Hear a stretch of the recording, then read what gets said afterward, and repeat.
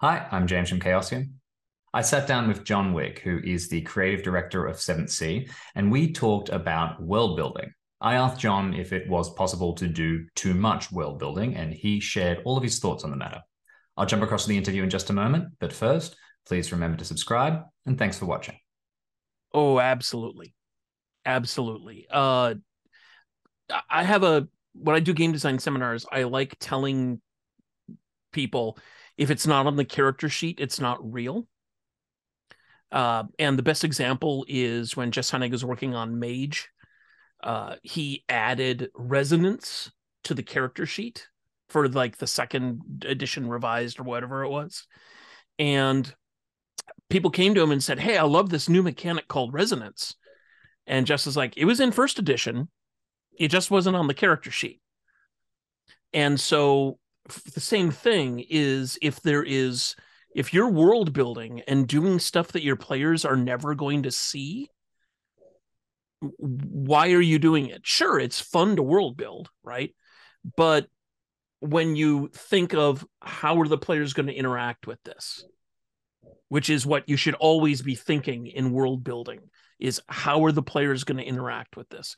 As a matter of fact i would make the argument that that question is just as important, if not more important, than does this make sense? I would totally agree with that. I think that you want to put the player experience at the very forefront. But if you'll forgive me for throwing back a fairly obvious point in your face, what do you do then if you start to, well, what's it what does it mean when you fall into a game where the gm is throwing an amazing amount of lore at you and forcing you to interact with all these little bits? It's too much. Or if you look at your character sheet and you have six different sections that really don't mean anything to you. Well when uh, i was working on legend of the five rings there came a time when the world lore was so cumbersome i was making the argument that we should stop and either move back in time or forward in time a thousand years and start over. Because that was the chief complaint that people had about Legend of the Five Rings is the world lore is too dense. It, there's too much of it. There's too much you need to learn to, you know, to to keep up. And for me, the, the that seemed like the obvious choice because when you get the L5R rule book, there's six clans, seven, there's seven clans. Uh, and that's really all you need to know. There's and then we peppered it with little details, like little things that that the Rokugan people did, uh, the ways that their culture was different than ours. But we didn't make it this vast encyclopedia of, you know, here's everything you need to know to appreciate your character. Uh, no, I don't want this is a game, it's fun, and I don't want to do homework to play my game. Now, there are games where people like that is why they're there. Right? There there are people who are like, I am interested in world lore, and I will just sit down and, and read world lore all the time. That's great. That's another flavor of ice cream. But from my own philosophy, from my own what I like in a game, I want to be able to read something very quickly and be able to play. And then if I'm hooked, then I can start reading things and I can start studying the history of the Scorpion clan and how all of that affects my character. And, you know, in a nutshell, I shouldn't have to be a Civil War historian to play a 20th century North American character. So let's say that you are writing your own setting or GMing your own setting, and I'm, I'm drawing a distinction between those two for this question, and playing in a setting. What is the balance there? At what point do you think you've you've gone too far? Is there any quick tips that you can provide people in these situations with that will let them figure out how to hit that sweet spot? I always like saying three things um, there are three things that are true about my character. There are three things that are true about my culture. There are three things I am. How how do I look? Tell me three things. It's a nice little number Um, it it gives it it allows you to do um, uh, something akin to uh, uh, what is it called triangulation. It's like there's this thing, and then there's this thing, and then there's this third thing, and all of those now make you know a shape, right? And so that's kind of how I do it when I run games. Uh, a couple of my games have been uh, very player player fronted, so that the players can spend points and say things are true about the world. And generally, uh, what I do is I, I, I, you can say three things are true about a thing, and then that thing is set. Move on. Uh, when it starts getting cumbersome again, is well when when it stops being useful is when it starts getting cumbersome because now instead of like really obscure archery rules or really obscure like does chainmail protect you more against bashing weapons than plate mail and and okay we have to stop and look it up for rules now we have to stop and look it up for world building. And both of those both of those instances are things that stop play.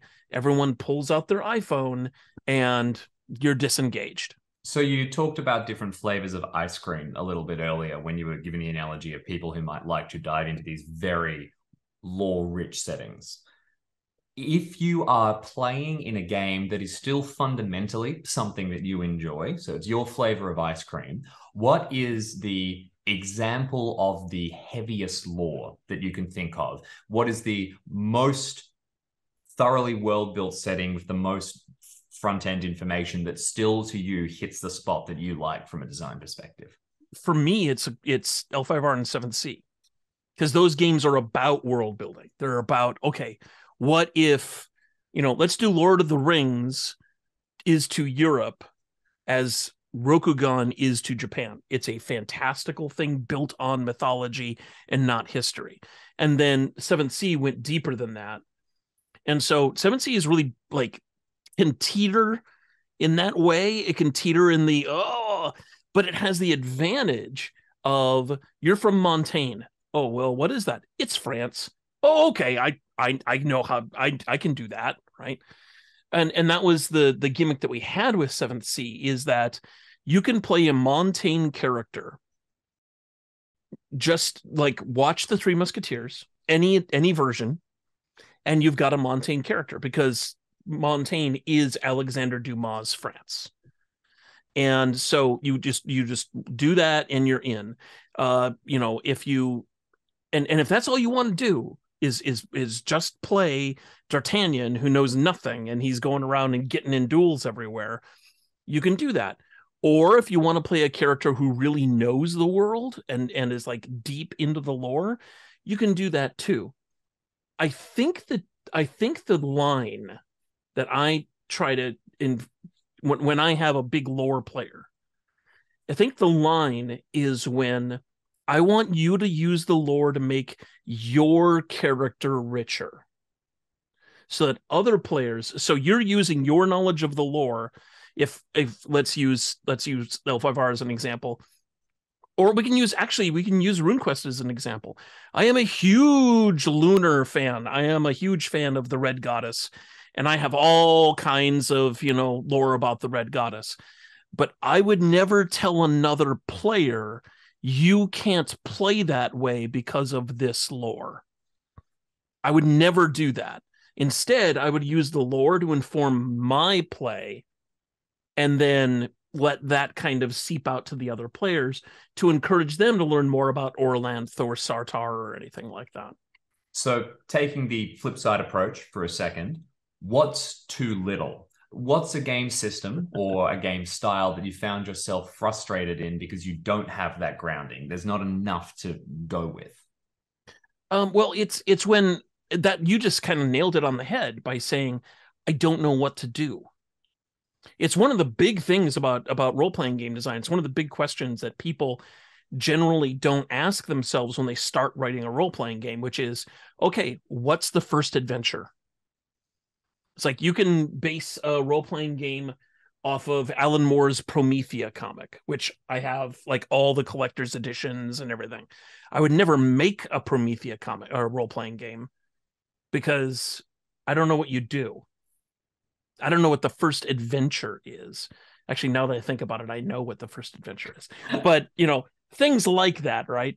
Um, oh, uh, uh, uh, the Black God's Kiss. This a C.L. Moore book. Beautiful, fantastic, classic fantasy adventure book. I'm not. I don't know what you do with it other than play the main character going through the story because the world lore isn't isn't there to back up anything other than what is already supporting the story. I have a question now that is a pretty broad topic. Maybe we could talk about this specifically at some other point. But when you are world building for a tabletop role playing game, how does the work you do or the kind of content you create differ from if you're world building for any other medium, you know, novel, TV series? Uh... Well, it's funny because one of the things I was telling my partner Jessica when I was in the middle of one of the Seventh Sea novels, I said, This is so easy because I never have to stop and ask, How are the players going to use this? And that that really is what it comes down to. There's an interaction with the setting in a role-playing game that not even video games have not even like video games don't have it, novels don't have it, like no other medium has it. I can be in the world of Narnia and I can talk to the White Queen. I mean, I wouldn't want to be in that situation, but you know, there it is, right? You can't do that in the movie. You can't step into the movie and go, "Hey, get over Edward. Uh, hey, White Queen, t- pick me instead." I love, I, I, I love those little candies you got. Just, just let's go, right? You can't do that. So in a role playing game, the difference between world building is how is the how are the players going to interact with it as opposed to how are the players going to perceive it which is entirely different Perfect. Well, we've gone into world building, I think, at a, at a, at a basic level, and we might return to it again. But for now, do you have any final thoughts, any sort of crystallized points you'd like to make about what the right amount of world building is when you're diving into a TTRPG? I think that that just like you can over spice a meal, you can over you can overdo world building. You can make it so that, and what's more is that because gamers are are kind of own ecology um, there is a lot of intentional and unintentional gatekeeping when it comes to settings. And this is because players love settings. Players don't love rules. Like nobody cares about the archery mechanic. But they love ravenloft they love dragonlance they love glorantha they love you know Rokugan. And that's what they get emotionally invested in. And the temptation to overwhelm them with, well, here's more that you can get emotionally invested in. Then it becomes choice paralysis of, oh, where, what do I do? Where do I go? Instead, you give them little bits and and that's really all you need. You don't need a lot of salt on your eggs. You just need a little bit and it makes and it makes every the whole difference and but when you like take the entire salt canister and just empty it on a fried egg then, then you don't you don't taste the egg anymore all you do is taste the salt